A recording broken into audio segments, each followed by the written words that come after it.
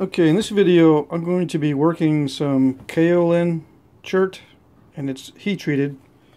So uh, I've heat treated, heat treated it in the uh, turkey roaster and uh, there's various colors, it all looks pretty good.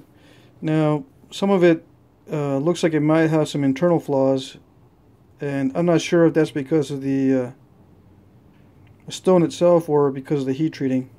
I don't have that much experience with kaolin, so I can't tell. But it looks like it heat treated very well, and I've been taking off some flakes, and it looks pretty good. So what I did was, uh, let's see, what I did was I, I dried it for uh, 48 hours at 250 degrees, and then I turned it up to 450 or the maximum on the turkey roaster for three hours uh, so it, you know, it, I guess it takes about 30 minutes to warm up to 450 or so. Uh, so it, it actually was at 450 for about two and a half hours. And then I turned it off, I turned it down to zero for uh, 12 hours uh, for the cool down before I opened up the turkey roaster. And uh, there, there it is here, various different colors and I'll, I'll be choosing one of these pieces for this video. It all looks really good. Uh, I don't think this one might have a, uh, fire pop or what they call a fire pop from heat treating here, but this part looks pretty good. I don't see very many, you know, flakes, small flakes from fire pops in there.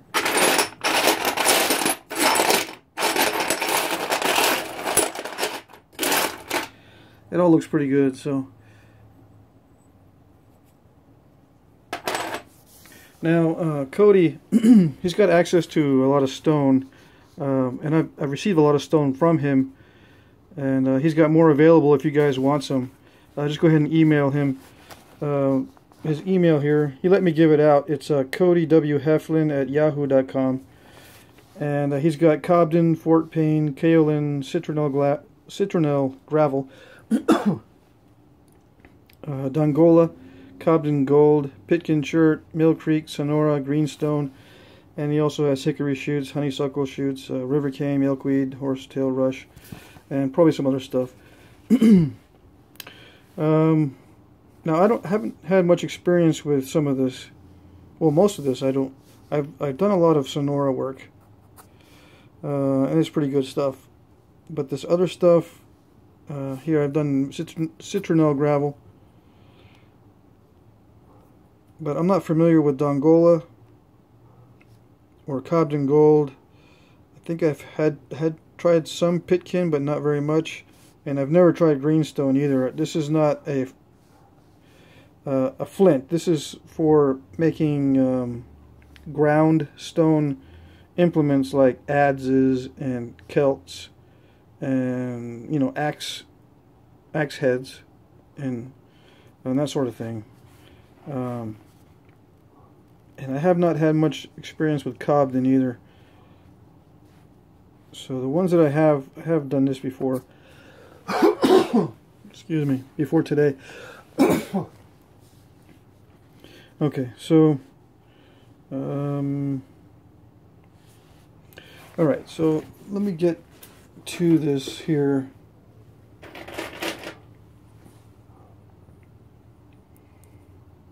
I've already started flaking some of this, like I said. um, let's see.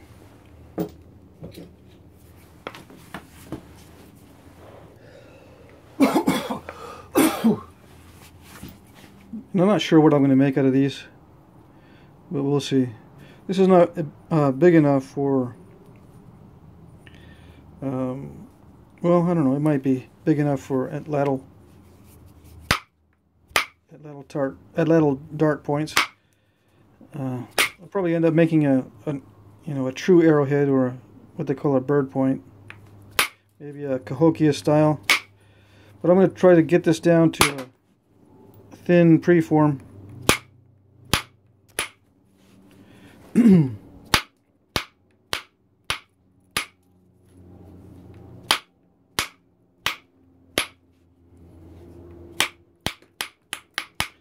And again, I'm using aluminum, and I'll be using aluminum from now on uh, for my modern tools. I will be using copper, but I'm going to try to use what they call native copper. Uh, copper that's found on the surface naturally. Or it can be mined also. Native Americans did dig up copper from some areas around the Great Lakes in the United States. But most of it, I believe, was found at the surface. So most of it that was used was found at the surface. Uh, so I do, I am going to include some copper in my natural materials toolkit. but mainly for pressure flaking and for notchers, I guess. I'm not sure that I'll use the copper for the indirect percussion anymore. Okay.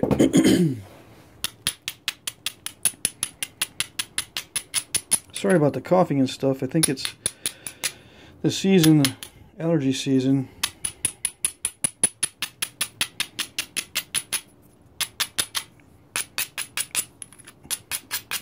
And I've been spending a lot of time indoors except for today.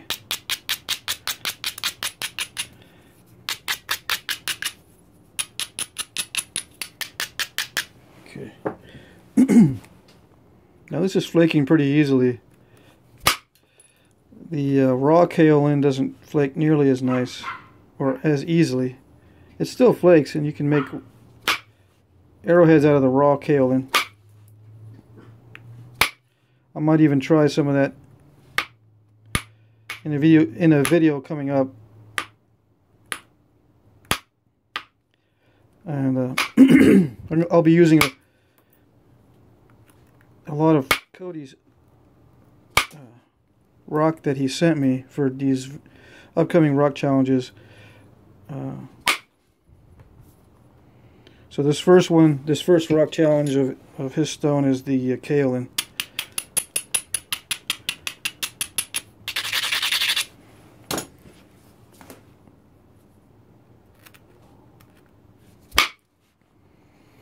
You can see how soft the aluminum is.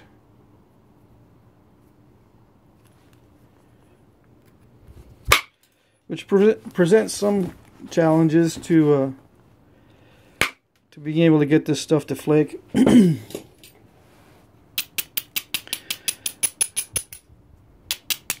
in one of these videos I'm going to be shooting from a different angle so I can uh, explain to you the uh, the angles on the platforms, the angles of the tool to the workpiece, and I've been I've been rehearsing different tactics on how to display these angles on video, uh, trying to get a clear picture in a very concise way, and uh, think the reason why it hasn't been done on other channels is because it's so difficult to do.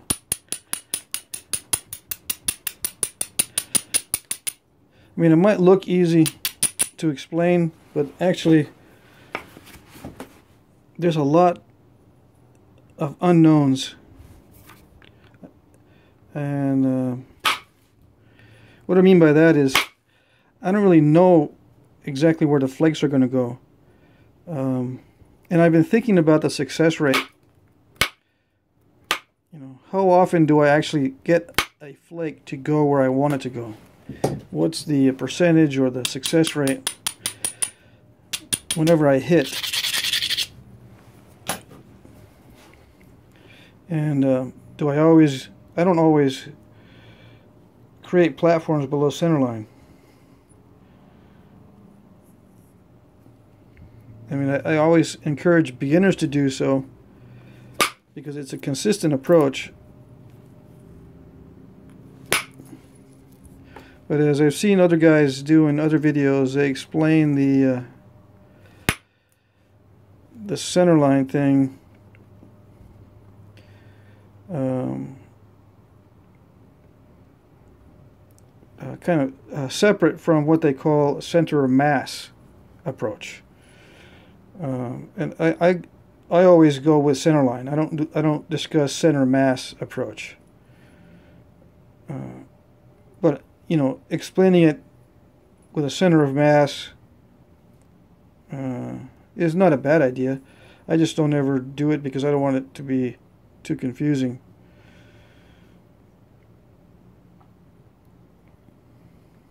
Uh, but briefly, what center mass means is um, you're not really paying attention too much about where that edge is. You're, you're angling the workpiece and striking according to the mass and not the actual placement of the edge. You know, if you tilt it downward to strike a flake off, your center of mass is actually going to be above or, you know, level or above this the center line of the tool itself. Okay? Or the hammerstone or whatever. The striking point you know, if you, if you draw an imaginary line down the middle of this tool or hammerstone, down the center, and you see where it hits, the, the, the middle or the center mass of the workpiece is either in line with that or slightly above, okay, in most cases. So it doesn't really matter where the edge is on the center of mass principle. It matters where the center of the mass is in relation to the the center line of your tool. Okay, now that's the simplified version. There's a, it's more complicated than that because sometimes you strike in such a way that um, the center mass of your tool is not going to be, or the center line of the tool is, is not clearly defined. You know, you're not always hitting uh, in a way that's easily illustrated by looking at center line or center mass of your tool and center mass and center line of your workpiece. So I just don't get into that sort of explanation, but I will try to do something similar to that in upcoming in an upcoming video. And I think what I'll do is I'll use paper and pencil instead of trying to to do it uh, freehand like this. Okay. But anyway, as you can see, this edge, I'm, I'm taking flakes off this way, but the edge is actually not turned toward that way.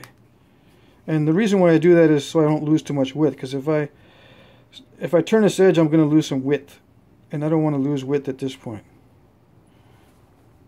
But for beginners, uh, I usually don't recommend this technique because it requires some experience to run flakes without breaking the whole thing.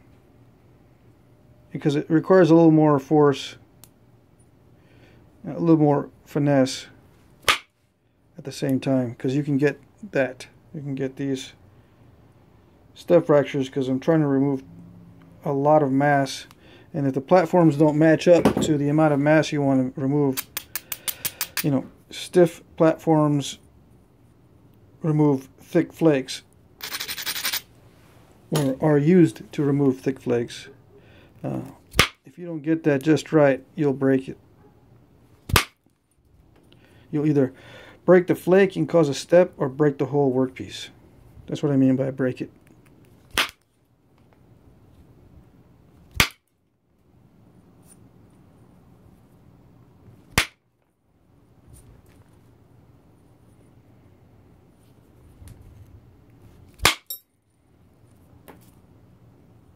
There's some really nice coloration in there. But I'll probably lose a lot of that in the uh, thinning down process.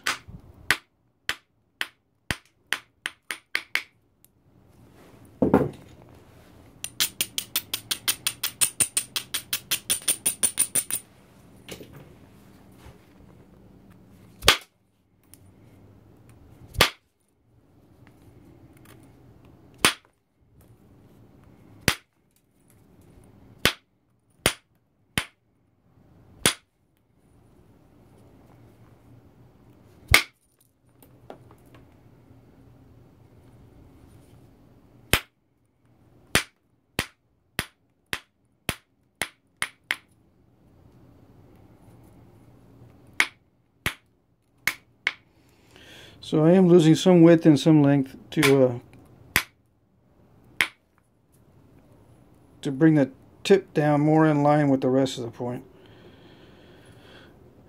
And it's got a kind of a curve in there, so I'm going to have to remove a lot of mass from this area down here, so I'm going to do that first, because I'd like to thin down the ends first.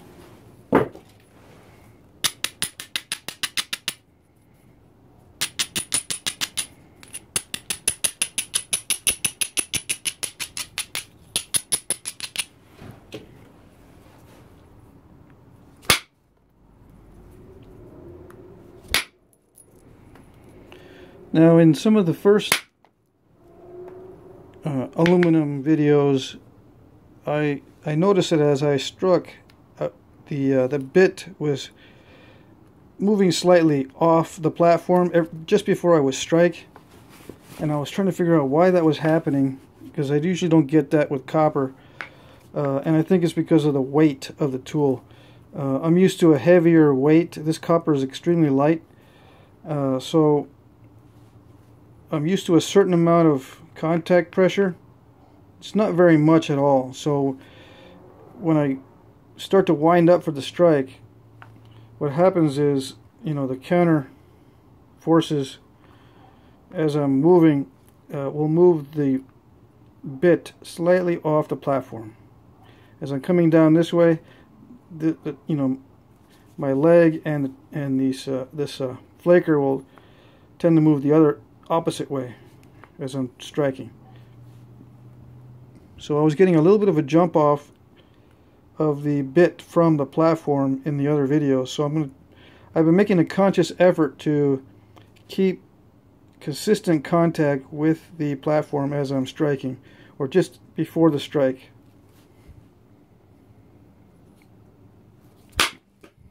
Like that. Because uh, you know, I reviewed my other videos recently. Uh, the ones just prior to this. And I noticed that the, uh, the, the tool, the bit of the tool was jumping off, ju moving slightly, just slightly before I was striking the, uh, the flaker.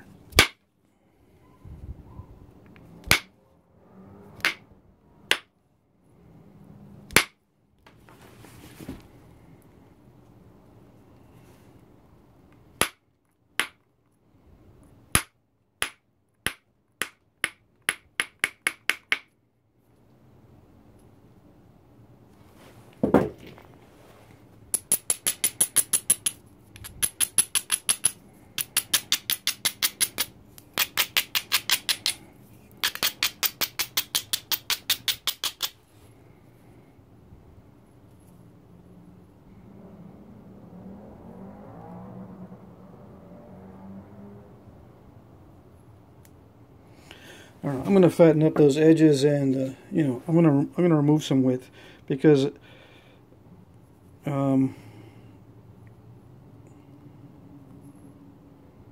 I mean I'd like to keep a wide point but I think what I'm going to do is I'm going to make one of those Cahokia uh, those long uh, triangular Cahokias with no notches but with serrations on each side. And it, from the Cahokia mound site they recovered they recovered several of those that are quite long made of kaolin so I think that's what I'll do with this one. And I've got plenty of width here uh, for thinning but if I start thinning now I'm going to be running really long flakes. And uh, although I do I do that sometimes I don't want to do it on this because I risk I risk snapping the whole point. I'm not too sure of the consistency of this material as far as brittleness. So if I start running flakes right now, I could cause a lot of step fractures and have to do a lot of damage control. So if I make it more narrow, the flakes don't have to travel as far and it makes it easier for me to thin it down. Okay. and plus, with thicker edges, uh, it makes it easier to run flakes without stepping because it won't be crushing as easily. Okay.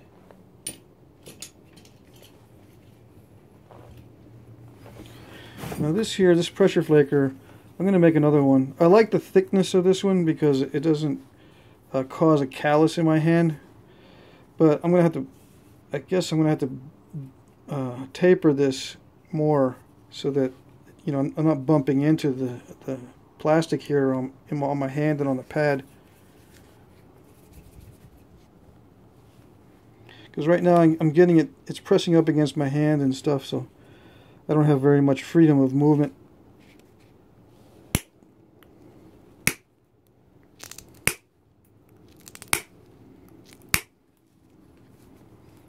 And I'm just going to, I am turning the edge this way for the uh, traditional approach of uh, moving the edge below center line for this next series of flakes.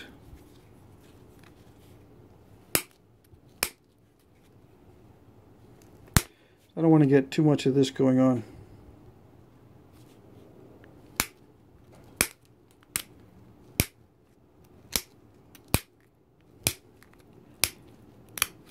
I got kind of spoiled with the, um, the hornstone. The hornstone is excellent material.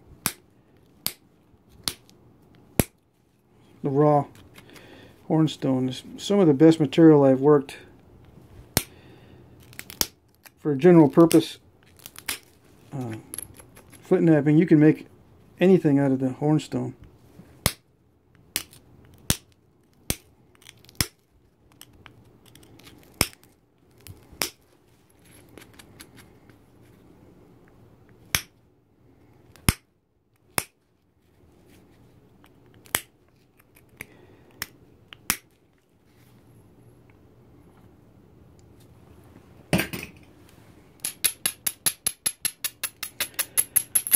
Mean, you can make anything out of any kind of stone, but some of the uh, harder to work or more brittle stones, you need to get, you need to keep it thick in order to uh, prevent breakage. But with hornstone, you can get extremely thin. You can do all kinds of flaking, long flaking, uh, ribbon type flaking, wide flaking. Uh, the higher the quality of the stone, you know, the characteristics of easy flakability and flexibility of the stone make it an excellent stone for running all different kinds of flakes. But if you if you don't have, for instance, if it's if it's not very flexible, it's extremely brittle, then you're kind of limited on how thin you can get it. Uh, believe it or not, some stone is quite a bit more flexible than other stone. And it's barely noticeable even on the uh, engineering diagrams that indicate the brittleness of a stone it's very it's not very noticeable but when you're flint knapping and you've adjusted to the subtleties of flint knapping, you can tell.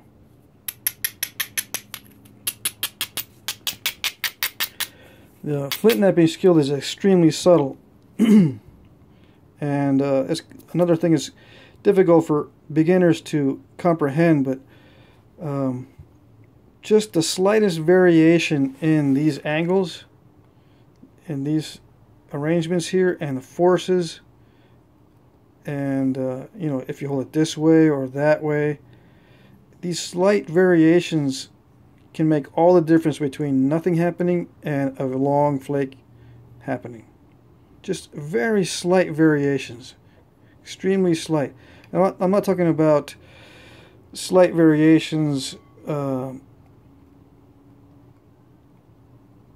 that occur when you're adjusting to the edge. Like some of these platforms, you'll have to tilt it this way to hit it, tilt it that way to, to hit it, tilt it, you know. I'm not talking about that kind of variation. I'm talking about on a platform, that variation that you choose, that angle you choose, can make all the difference between a, you know, a successful flake and a non-successful flake. And most of that decision is subconscious. And I've been thinking about, you know, how I'm going to explain this in the, the most concise way. Uh, and it's extremely difficult. Because even if I place the flaker exactly the same way every single time and hit with the exact same force every single time, I'm not going to get the same result every single time. I don't know if that makes sense. It's almost like rolling rolling dice. You know, you, you hope for uh, a certain score on the dice. Let's say you roll two dice and you want a seven. There's various ways to get seven, right? That's like the ideal. So that's basically what we do. We want to roll a seven when we're striking, but we're going to get a two sometimes. We're going to get 11. We're the whole range, like from 2 to 12 is the range you get on two dice. Well, same with flakes. You get a whole range of different flakes, and you but you're rolling the same way every time. You're rolling the same way every time. Um, because it's it's not predictable. It's not predictable. Uh, so, uh, if you're a beginner and you're thinking, you know, as if I could only be consistent every single time, every single time, the flakes would be consistent every single time, every single time. But that's not the case. And I don't want to throw a wrench in the thoughts there, but it, it is not the case. I mean, I could, like I said, I could put the flaker on the platform exactly the same way, hit with the exact same force, same angles, same rock, same properties, and get different results each time. And it's because of the slight variation in the stone uh, and the platforms are not built exactly the same way every time and there's imperfections. There's different contours in the bit. Uh, there's all these little subtle things and since flint knapping is so subtle those differences those very subtle little differences can make a big impact on the way the flake comes off Okay. So the success rate, when I was first starting, I would get the kind of flake I wanted maybe 1 in 20 times. Now, after about 5 years of intense flint knapping, I can get the flake I want maybe 1 in 3 times, or maybe 1 in 2, if I'm lucky. I cannot get the flake I want every single time. There's no way. I mean, maybe I can in the future, but at this point, my best success rate is one in three, maybe one in two, but I'm not. I'm never one for one.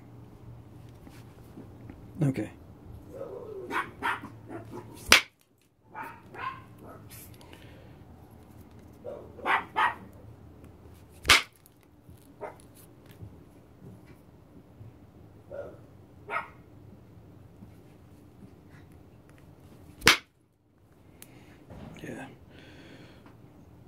And uh, with Sonora, not Sonora, with the Hornstone, I could have gotten through there. Uh, you know, I could have blown away that step fracture, but with this type of brittle material, it's not as easy.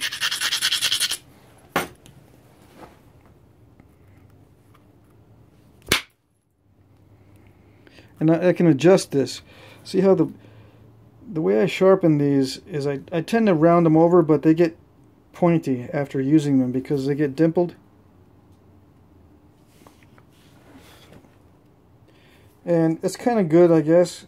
Um, some dimpling is good to, to latch on. But you don't want it too dimpled because you don't want it to latch on too, too well because it'll take a big bite out sometimes. But you can also, you know, tilt it this way and make contact with just the point or you can tilt it to the side and make contact with more of that flat spot. So that's what you'll see me doing sometimes to see uh, if you make contact with just the point you're going to get a smaller flake but it, it could you know be longer. Um, it just depends on you know what I'm trying to clear off. Right now I'm trying to do damage control on this lump here and I don't want to just force a big flake. I usually don't force big flakes on any of my knapping unless I really have to. I try to whittle it down.